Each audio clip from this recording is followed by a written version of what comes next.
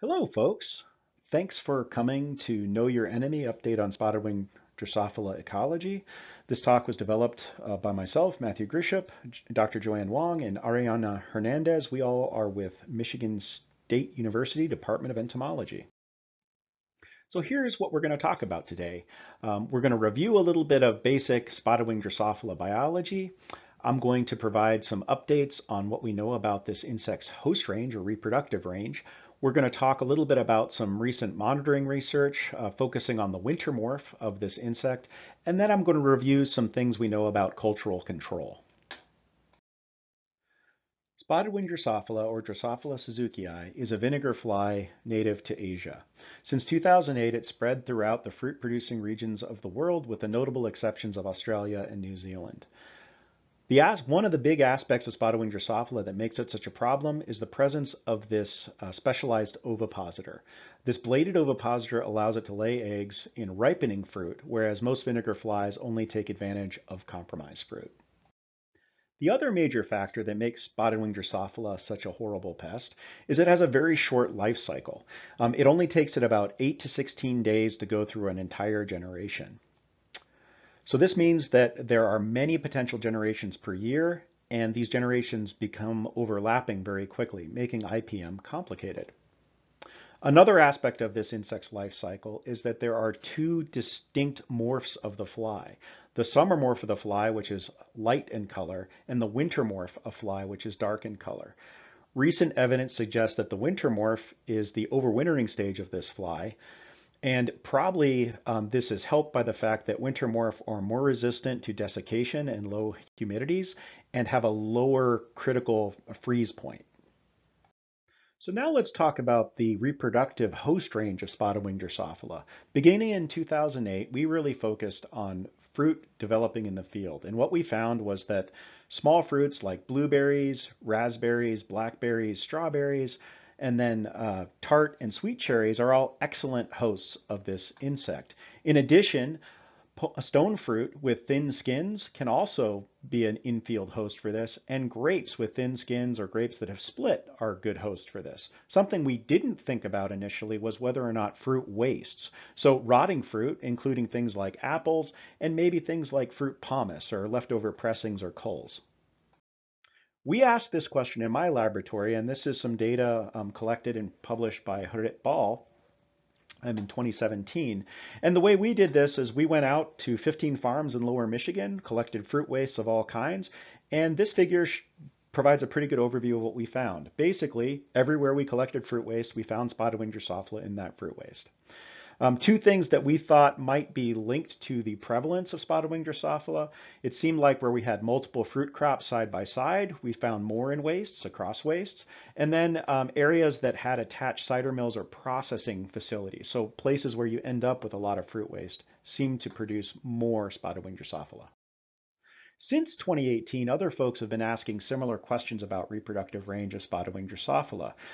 This is a really interesting paper published by Dara Stockton in late 2019. And what she did in this paper was she compared the productivity of spotted wing Drosophila provisioned with the artificial diet that we rear them on in the lab, and then diets constructed from either apple, mushroom, bird manure, or combinations of those three feedstocks. Dr. Stockton collected a lot of really interesting physiological data. I'm just going to focus on the relative productivity of the diets that she tested. So to do this, what I've done is calculated the ratio of production for individual diets versus the cornmeal control.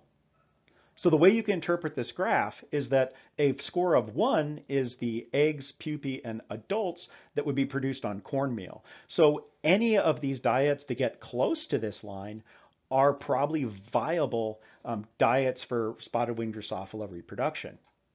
And the big thing that pops out of this figure is that it is only diets that contained a large quantity of bird manure that were not comparable to the cornmeal. So the take home from this is that spotted wing Drosophila has a much wider reproductive range than we previously thought. And from a management perspective, this means that we need to be thinking about fruit wastes fungi, and other decaying matter, as well as developing fruit when we're thinking about managing this insect. So I'd like to switch gears now and talk about monitoring and some interesting ecology we think we're learning from recent studies. So the standard trap for spotted wing Drosophila are these cup traps that contain either a commercial lure or a yeast sugar bait blend. The way these work is that you've got a clear trap with little holes and the flies fly in and drown in the solution. Ariana Hernandez, a master's student working in my lab, has been doing some interesting work with this in relation to the summer and winter morphs of spotted wing Drosophila. Here's the summer morph, here's the winter morph. These are darker, more resistant to low humidity and low temperatures compared to the summer morph. Ariana noticed that she wasn't seeing a lot of flight when she was doing behavioral work with these insects, so she conducted an interesting experiment. She put a cup trap high in a cage and on the floor of a cage, and then released 120 summer morph and uh, winter morphs into that cage, and then just looked at what she recaptured over a 24-hour period. And here's a very simple rundown of what she found. So this figure shows the proportion recapture, over the total flies that were released. And then summer morph recapture and winter morph recapture are presented in summer and winter respectively. This is the cup on the floor, this is the cup hanging. The big take home from this is that winter morph were very rarely caught in the hanging trap, much more frequently caught in, on, in the floor trap, whereas summer morph were caught in both traps. So does this suggests that if you're going to trap winter morph spotted wing Drosophila, you want to put your traps low to the ground. Well, lab data is great, but you got to do things in the field to confirm what you see in the lab. So what Ariana did was set up a four treatment experiment in woodlots in, at Michigan State University. We use woodlots because we find a lot of spotted wing Drosophila in the off season in woodlots. So she used a hanging cup, a cup on the ground. Uh, this is protection from raccoons and rodents. And then she also evaluated some specialized traps which are used for catching stored product insects on the floors of stores. Um, and she put one of these on the top of the leaf litter and one underneath the leaf litter. So a little detail on this trap. It's a very simple trap. It's a modified pitfall trap. You've got this sort of volcano pitfall and then a cover the target insect climbs up on the volcano and falls into a drowning solution, which is protected by the cover. So this is what allows it to be put under the leaf litter. So I'm going to show you this data in two chunks. I'm going to cover what we saw beginning in November through May 1st of this year, and then we're going to look at what we found from May 1st of 2020 to uh, late September. So these two figures show the same data. This shows it over time. This shows it aggregated over time. Um, in this figure, the cups uh, are presented with squares, uh, solid meaning hanging, um, clear meaning on the ground, and the domes are in circles with the dome on the ground, solid, and the dome under the leaf litter as a, an open circle. And really, it's a pretty simple conclusion here. Um, we didn't catch a lot of spotted wing Drosophila except in this one area in late November and early December. And when we did catch them, a lot of them were caught in our cup on the ground. And this is reflected if you look at the totals. The other thing that's provided here in the totals are the non-target Drosophilids. And the big sort of take home on them is we didn't catch a lot of non-targets on the dome on the ground or our dome trap in the leaves, we caught quite a few in our cup traps. So while our um, the patterns look pretty clear, uh, we didn't catch a lot of spotted wing Drosophila, so we couldn't separate mean captures statistically. So we decided to look at this data a different way. We basically just asked the question, in a given time period, in a given set of traps, um, if we caught spotted wing Drosophila, which trap the caught the most. So what this figure shows you is the number of times out of 15 that a particular treatment caught the most flies. And what we find here is a very clear indication that the cup, cup trap on the ground performed best. So this data is a continuation from the previous slide showing um, trap captures collected from May 1st uh, through September 26, 2020. So the interesting things from this data are that suddenly in August, um, the dome traps, both above and below the leaf litter, became really good traps.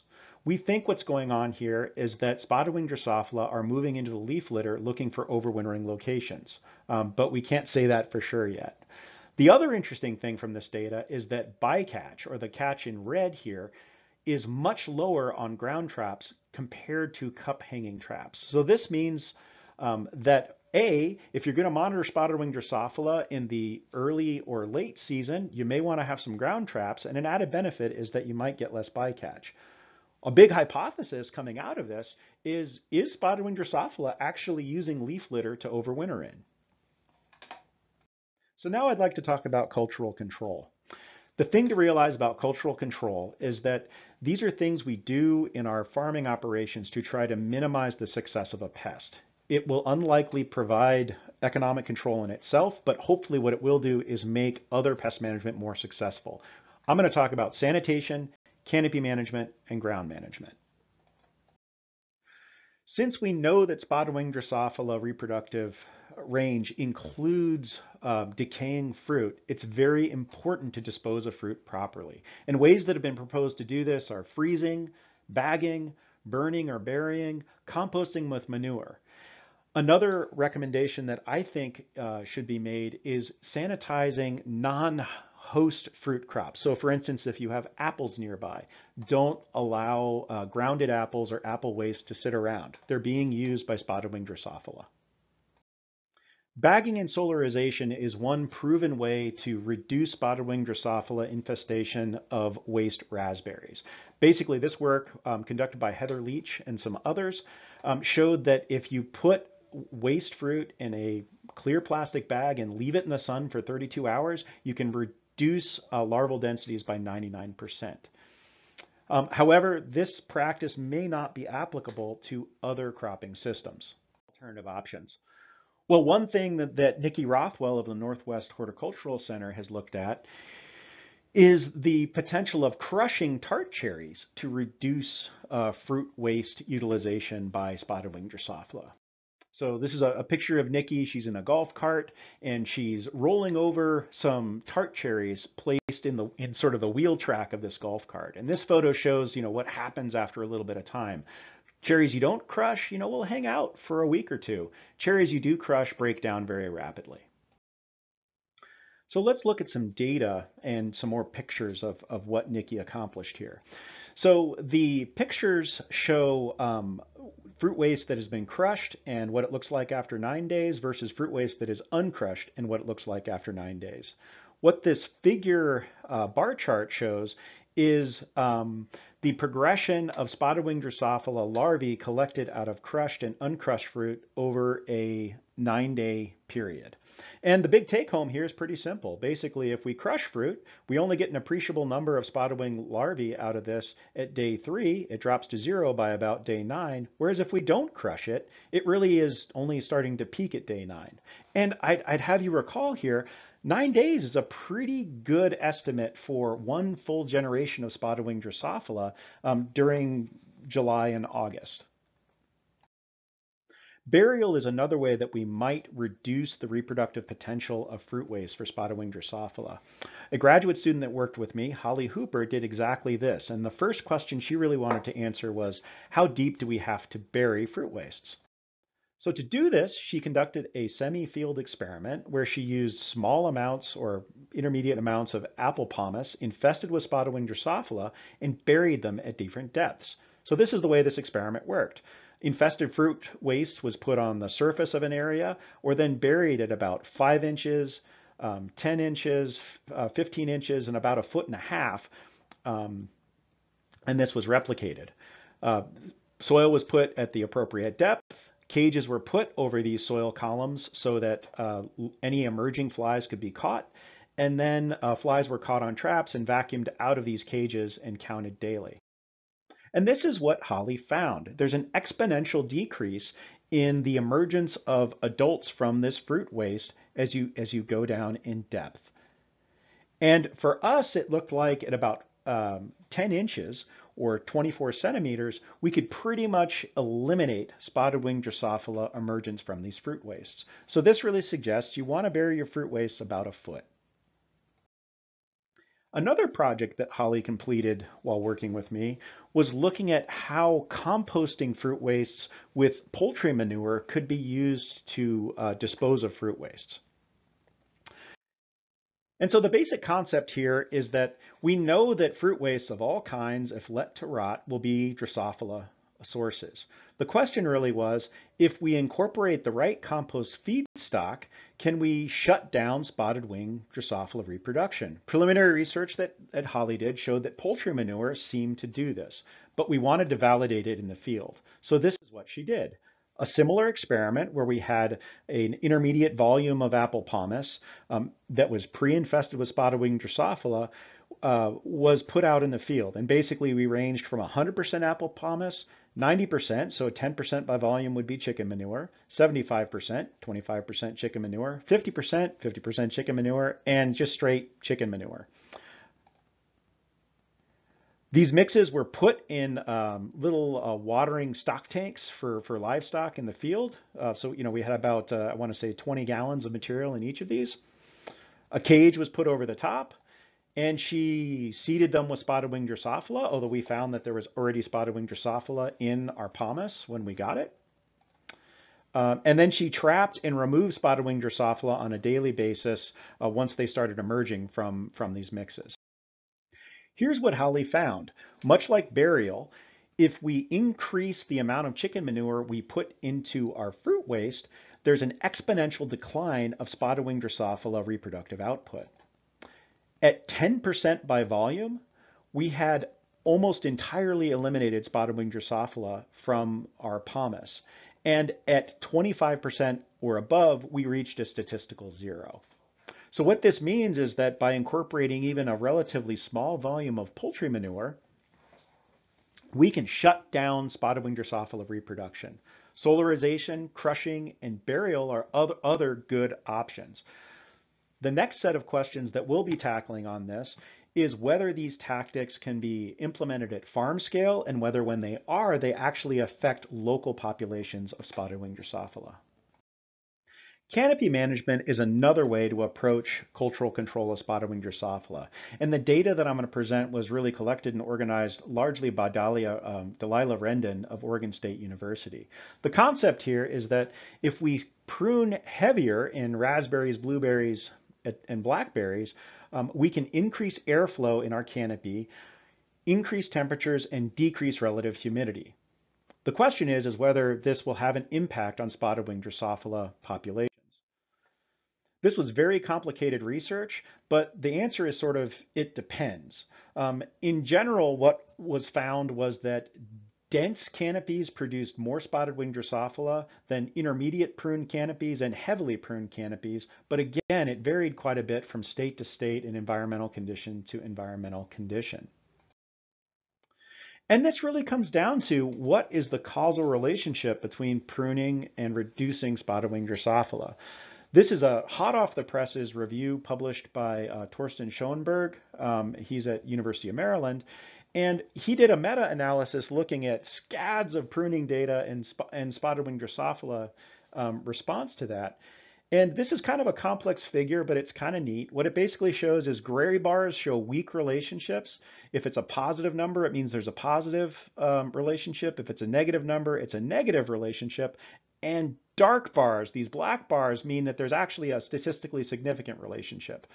And the big one from this figure to me is that what Torsten found in his meta-analysis was that um, canopy hours of under 70% relative humidity were significantly and pretty uh, monumentally associated with reductions in spotted wing Drosophila infestations of fruit.